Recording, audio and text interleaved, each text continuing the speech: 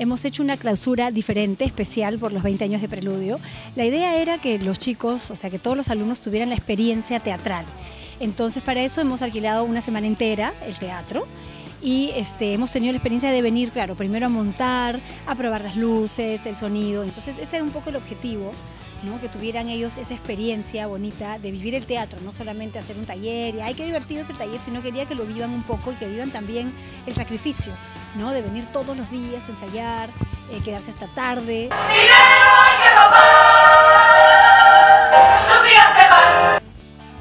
Yo tengo a mi cargo a 47 niños esta vez, en dos turnos, en dos grupos, un grupo de básico, que hay niños desde 6 años, y un grupo de avanzados, que hay niños hasta 14 años, en donde les he dado clases de canto, de baile, de tap, de actuación.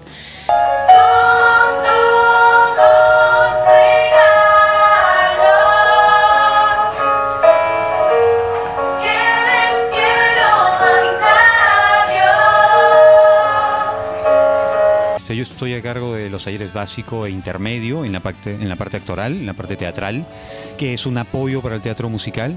Ha sido una muestra integral, una muestra con tres fechas. Hemos reunido los trabajos de los chicos para celebrar los 20 años de Preludio. Con esta clausura terminamos los talleres de invierno, obviamente, y empezamos enero, de enero a marzo los talleres de verano y luego empezamos otra vez en abril y así, ¿no? Entonces la idea de esto, el objetivo era ese, que los chicos pasaran por, esa, por ese proceso y también ir viendo qué pasa con ellos, cómo podemos por ahí pensar, ¿no? En aventurarnos y en mandarnos a hacer un musical con ellos. Yo los invito, si es que de verdad quieren vivir intensamente el escenario, pues este es el lugar.